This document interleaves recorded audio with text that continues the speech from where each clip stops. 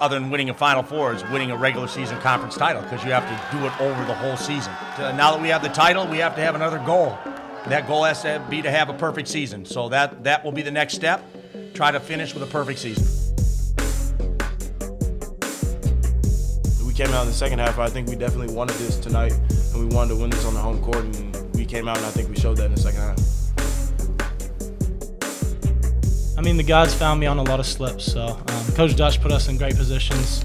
Um, we ran some plays where we could slip the ball screens and uh, some off off uh, screens, and um, the guys just found me in great positions. Um, uh, my legs felt good today, so um, I was just trying to get up and down the court and um, be as aggressive as, aggressive as possible.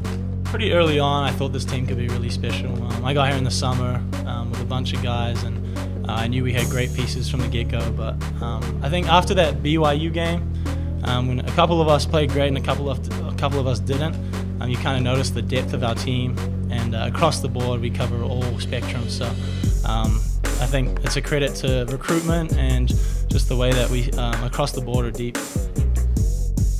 I think it's, it's, special to me because I was able to reach a thousand and not only um, reach it, but reach it on the night that we hang a banner and, and win the conference. Um, uh, win the conference. And so I, I definitely I definitely will cherish tonight. And but tomorrow got to let it go and, and move on to the next next four games we have.